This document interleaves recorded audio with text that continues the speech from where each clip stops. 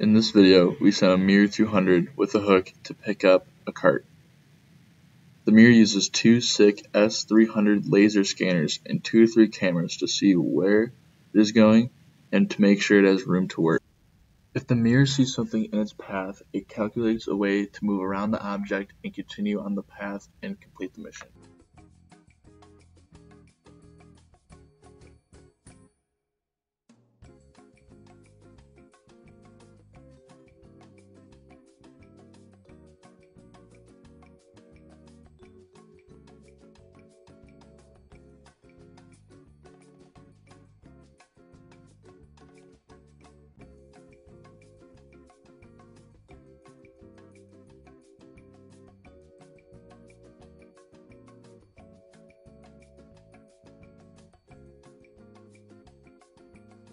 The MiR will drive to the designated area where the cart is and scan a QR code to find out the cart's function and where it needs to go. Then, it'll calculate the best way to back up and use its hook to pick up the cart.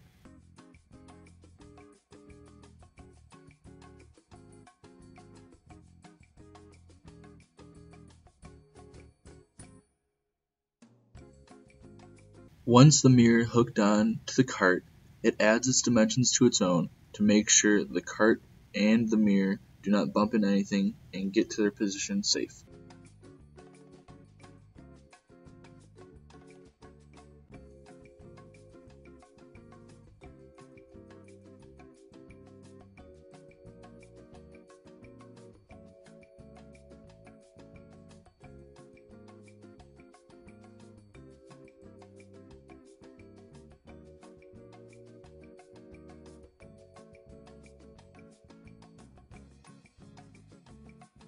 Once the Mir has reached its designated stop point, it'll unhook and carry out its next job.